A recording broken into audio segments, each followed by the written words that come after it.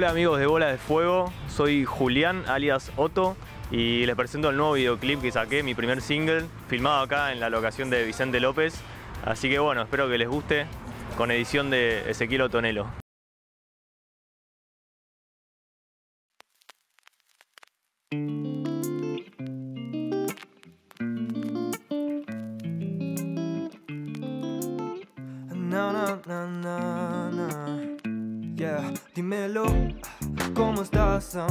Quiero ver quién sos, qué hay detrás de vos, qué haces por esta noche.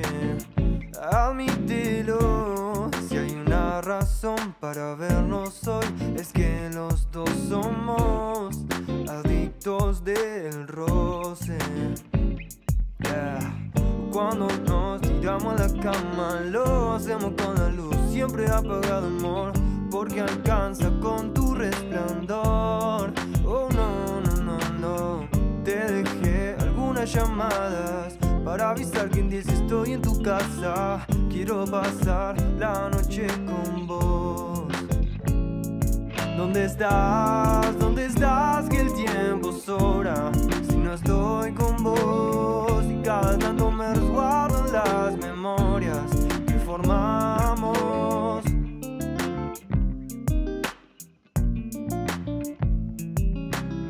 No me parece bien olvidarte. Sé que no pasaré ni un día sin llamarte. Sin embargo, se quema mi piel. Cuando entramos en contacto, algo pasa, lo sé. Oh. Te queda bien todo lo que te pones. Te puedo ver desfilando en la TV. Es muy tarde y no puedo pensar. Es que me matan las ganas de tenerte acá. ¿Dónde estás? ¿Dónde estás?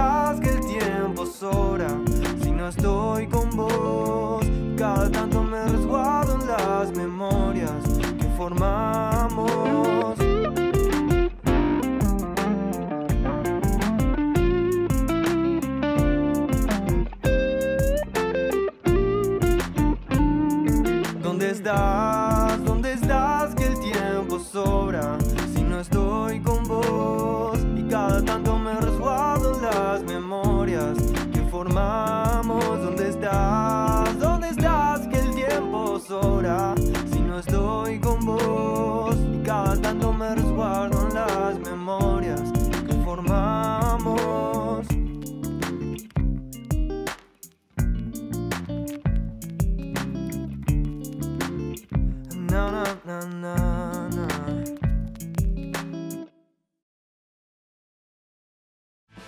ya no quiero ir y venir y ver que sigo siempre igual. Tampoco quiero perseguir algo que nunca va a pasar.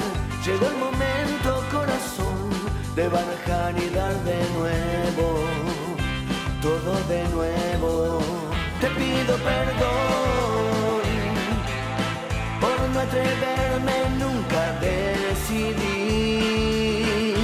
Grabé ocho canciones, largué la primera que es Cortando una flor, que en esa estoy solito. La segunda, eh, que es eh, Perdón, que me acompaña Willy Piancioli de Tipito, que ya es... dedicado a su hermano, seguramente, porque claramente. después de haberlo traicionado de semejante manera, lo menos que se merece es un perdón. Mínimo, mínimo, mínimo, mínimo pedirle perdón en, una- en una La gente canción. se habla con las canciones. No, no, tipo Shakira, por Claro, acá, acá no facturan. La, la diferencia es que esta no facturan. Eh, y la tercera que se viene se llama Debería, que está Juani andando descalzo como invitado, y ya después ya se viene todo el disco. No sé cuándo va a salir esto, pero el 22 de junio sale la, la que se llama Debería con Juani y ya después viene todo el disco completo. Y después viene el disco con, con las letras, con La- el disco librito. con, el todo. librito, con todo, con piñata, con vincha, gorro, bandera, todo. Y te acompaña Willy. Eh, Willy ya tenía relación, eh, hablamos de Willy Pianzoli y de los tipitos, ya había una relación con ustedes, ¿no? De- en, en la época de Hijos de Babel. Sí, en la época que todavía sigue, parece como que estamos hablando de una época No, yo ya lo doy No, por no, separado. No, no, no, no, no. Willy fue quien produjo los últimos dos discos de Disco de Babel. En realidad hay uno que ya está, que es Borrar el Historial, que es el con el que habíamos venido acá, que tenía mu- muchos invitados, y hay uno que tenemos en el cajón, que estamos viendo qué hacemos con ese disco, y en ese impasse, de mientras vemos qué hacemos con ese disco, eh, largué esto así en solitario. Te pido perdón saber bien lo que quiero ni lo que ¿Ya te presentaste en vivo como solista? ¿Y quiénes te acompañan aparte? Ese es otro tema que se viene en breve. Lo más probable es que presente esto para de romper con todas esas eh, posibles teorías que estamos separados. Lo voy a presentar en un show de Hijos de Babel. No, encima lo vas a usar a tu hermano. Claro. Te vas a colgar de él, ¿no Claro, es? así suena bien, tiene que sonar bien. Así que seguramente en el próximo show de Hijos de Babel, que va a ser ahora en breve en, en Capital, en Lucil, seguramente Vas eh, a meter voy a meter una- unos temas. La misma banda, ¿le vas a usar la banda también? La, la banda es mía también, la banda es de los dos, dale. 50%, La, porque- la banda es de los dos, claramente. Sí, sí, vamos a hacerlo ahí. Que es algo que tomé de Jorge Serrano, que sacó un disco solista con los de Grandes salvándonos las distancias. Las enormes distancias, cuando él presentó el disco, lo metió en, en medio de un show de los de Grandes. Dije, esto está buenísimo. Así, bueno, así que lo, lo hablé con los chicos y seguramente hagamos eso 9 de septiembre en Lucil. En Lucil. Ya tienen fecha y lugar. tenemos fecha, sí. Excelente. Sí, sí. Bueno, Nando, gracias por venir. La verdad, un placer volverte a tener acá en nuestra casa. Muy contento de venir y sobre todo sin mi hermano, es lo más importante, que no quería venir más con él, no lo aguantaba más, que se sepa. Ahora sé muy bien que nada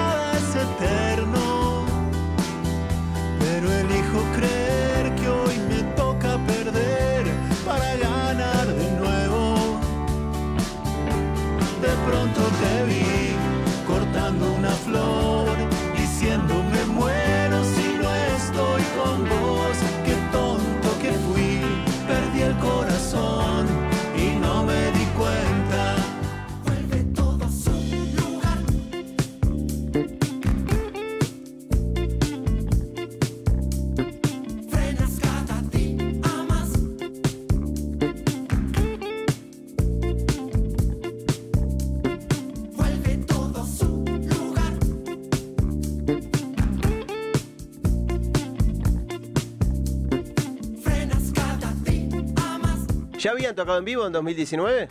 No, No. o sea, sí y no. Creo que una sola fecha en Lucil abriendo una banda. Eh, y bueno, y eso sí lo. Honestamente lo aprovechamos y mucho eh, a la idea de, de que justo teníamos un disco entre manos recién salido del horno cuando recién se empezaba a abrir un poco todo. Claro. Entonces, vamos a tocar. y, y la gente estaba re manija de ir a escuchar bandas en vivo y, y así y así tocamos un montón. Tenían como esa ventaja, ¿no? Se abrió y ya tenían el disco. Sí, sí, Bien. sí. Y, y bueno, estuvimos eh, un año y medio, digamos, presentando el disco en distintos barrios y clubes y demás, hasta que volvimos a Córdoba a grabar. eh, A buscar la semilla. a buscar Y a saludar a la tía. Sí, que ya estaban plantadas, a ver en qué andaban esos yuyos.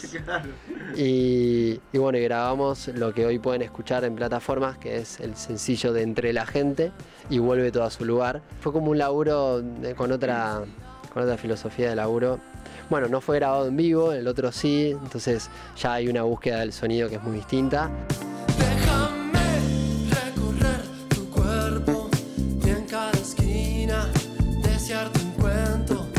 De ahí sale el video que estamos viendo, que es el video Todo vuelve a su lugar, Sí. que se grabó cuánto tiempo después ¿De qué? de grabar el tema. Ah, eh, y cinco meses, ponele, seis meses. Eh, y bueno, fue un laburazo de Jerónimo Tanoira, director de cine, que era eh, el, el pri- el original batero de Lopsis. Sí. Y cuando se fue y entró Iván Marcori, eh, bueno, nos dejó ese último laburo que fue dirigir con todo su equipo ese videoclip que Es buenísimo, buenísimo. Se nota la calidad. Sí, bueno, ahora que lo decís, eh, director de cine, se nota esa calidad que tiene el laburo.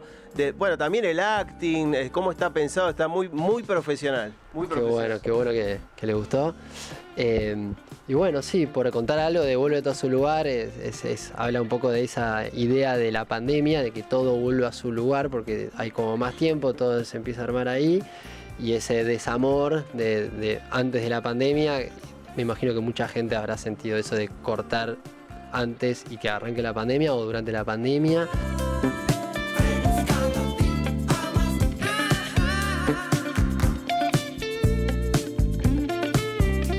Ahora eh, vamos a lanzar un, el próximo sencillo que se llama eh, No me malinterprete.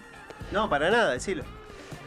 Se llama No me malinterprete. Ah, y eh, bueno, y sigue abriendo el abanico de géneros a los cual Lopsis tiene ganas de jugar, porque Porque sí, no, si bien podemos decir que se trata de una banda de rock libre, por así decirlo, seguimos ampliando géneros y buscando y, y tratando de que, de que la música esté sobre todo y como salga. Y el próximo álbum que estamos pensando, eh, se está cocinando, ya tenemos varios temas eh, hechos, está bastante cerrado.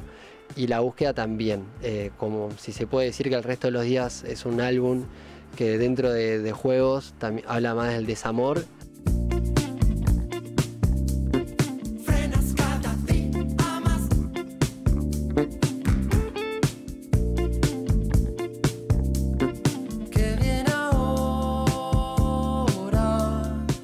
que, que a veces los temas que se tocan en la música son siempre los mismos, el miedo, el amor, el desamor. ¿Cómo explicarlo? Cuando uno se embarca en, en- en dejar de hablar desde uno y crear un personaje, eh, es como que siempre es uno el que habla, pero, pero a veces ese personaje también te permite jugar de formas distintas. Claro. y- O sea, hablas desde la composición.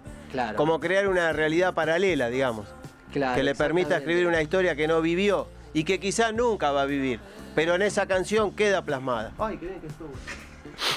Ah, emocionante. estuve bien, ¿eh? ¿Te emocionaste? Sí, Sí, perdona. Disculpame. Perdona. Cortá acá y después seguimos. ¿Ves, cosita? ¿Querés tomar agua?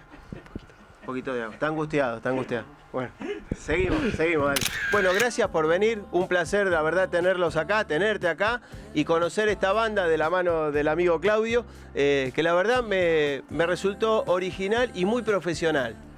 Bueno, muchas gracias a vos, Mosquita, por la invitación.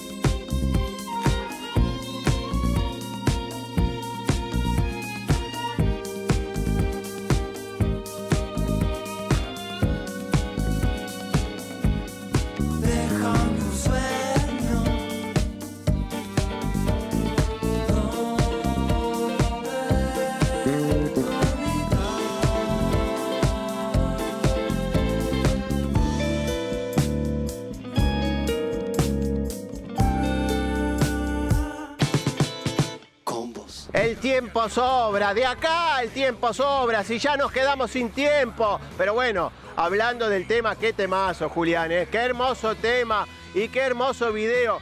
Qué carrera que larga, Julián, ¿eh? Los felicito de corazón. Muchas gracias, pa, muchas gracias. La verdad es impresionante.